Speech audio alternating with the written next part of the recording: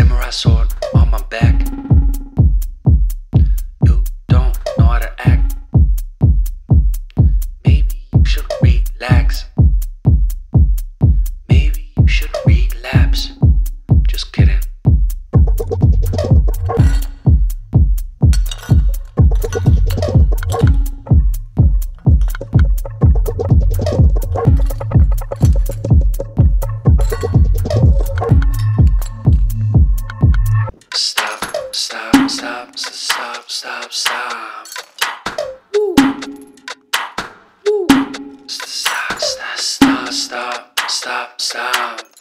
Stop, stop, stop, stop, stop. Stop, stop, stop, stop, stop, stop.